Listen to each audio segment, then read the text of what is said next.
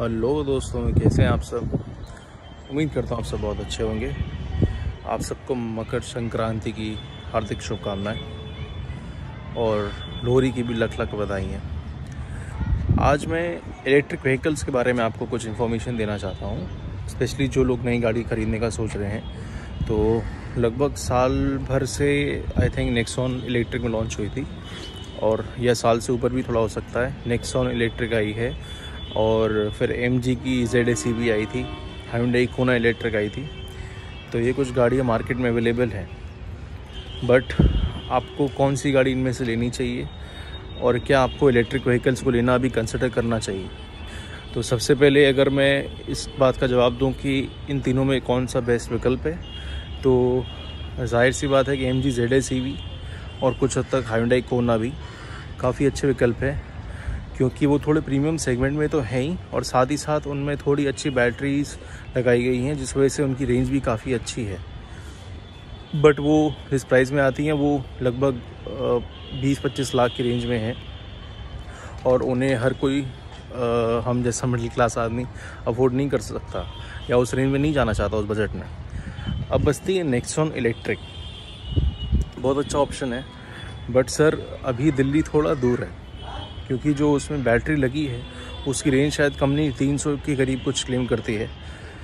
But आपको real world में उससे काफ़ी कम मिलने वाली है तो उसके लिए आप प्रिपेयर्ड रहें। और उसके साथ ही आपको उसे चार्ज भी करना पड़ेगा अक्सर, और उसकी चार्जिंग सॉकेट्स इंडिया में अभी हर जगह अवेलेबल नहीं है। मान लीजिए कहीं रास्ते में आपकी गाड़ी बंद पड़ गई तो आप उसे चार्ज कहाँ करेंगे? और अक्सर अगर आपकी रनिंग ज़्यादा है तो आप रोज़ रोज़ चार्ज करके भी परेशान हो जाएँगे। अगर आपके पास वो सॉकेट वगैरह है तो भी। तो मेरे कहने का मतलब ये है, क्योंकि अभी ये बैटरीज, लिथियम आयरन बैटरीज जो इसमें लगती हैं इलेक्ट्रिक व्हीकल्स में, वो इंडिया में नहीं बनती इम्पोर्ट हो रही हैं और काफ़ी हद तक चाइना से इम्पोर्ट हो रही हैं। तो मेरा सजेशन ये है कि अभी इलेक्ट्रिक व्हीकल्स आने वाली हैं, वही हमारा फ्यूचर है, बट उन्हें आने में अभी कुछ समय ज़रूर है। पूरी तरह से इंडिया में सक्सेसफुल होने में और अभी लगभग पाँच साल का टाइम मैं मान के चल रहा हूँ, जिससे इंफ्रास्ट्रक्चर पूरा इलेक्ट्रिक व्हीकल्स का डेवलप हो जाएगा हिंदुस्तान में।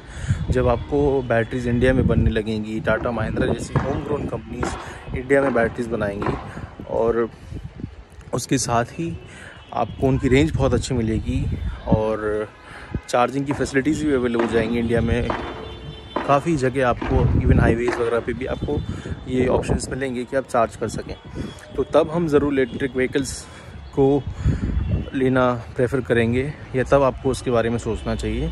बट अगर आप अभी कोई गाड़ी लेना चाह रहे हैं तो I think you should better stick to diesel petrol और सीएनजी अब रहा सवाल कि जो लॉन्ग टर्म के हिसाब से अभी गाड़ी लेना चाह रहे हैं, और वो इलेक्ट्रिक के लिए फ्यूचर रेडी होना चाहिए। आई थिंक मेरा ख्याल है उनके लिए ये गाड़ियाँ काफ़ी अच्छी हैं।